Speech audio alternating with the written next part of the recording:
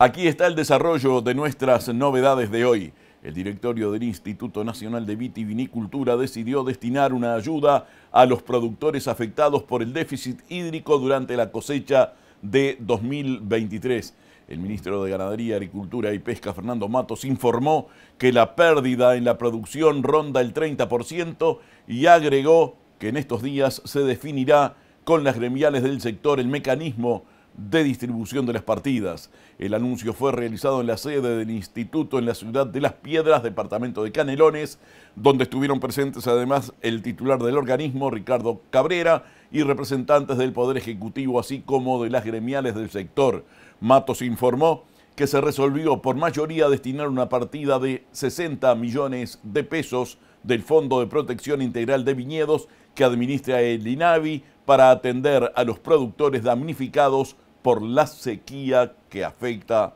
al país y que afectó también a este sector. Estamos hablando de la afectación climática por la sequía, eh, pero también en algún caso por granizo eh, y también por heladas que afectaron a, los viñedos. Y en este sentido está constituido por ley un fondo del propio INAVI que dispone de eh, cerca de 80 millones de pesos, en este caso eh, el directorio de INAVI, de acuerdo con sus facultades,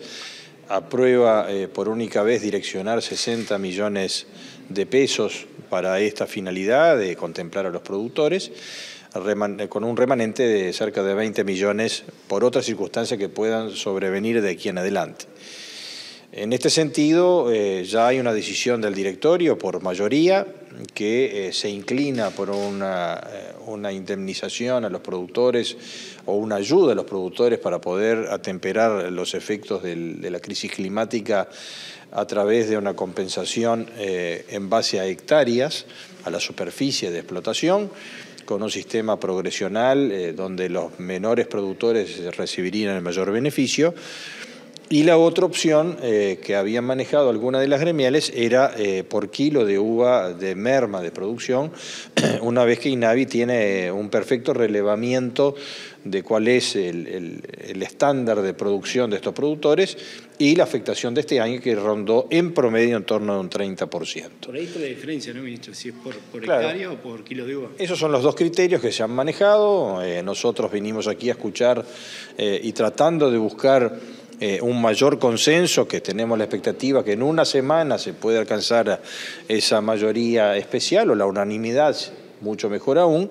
eh, que es justamente darle esa ventana de oportunidad, partiendo de la base que ya hay una decisión del directorio. Eh, esa decisión implica que el Ministerio de Ganadería, el ministro, tiene que firmar un decreto a efecto de habilitar el uso de este dinero por única vez, eh, así que vamos a hacer un compás de espera de una semana con la expectativa que las gremiales que estaban en voto negativo, discordante de lo que la mayoría decidió, puedan avenirse a presentar una propuesta que sea de mayor consenso y es en ese sentido, con un tono lo más eh, positivo, constructivo y democrático, hemos tratado de venir aquí para dar nuestro aporte y de abrir esta ventana de oportunidad y ya están trabajando las distintas gremiales para que eh, en los próximos días van a volver a reunirse para tratar de encontrar una fórmula que contemple a la mayoría de las delegaciones que aquí concurren.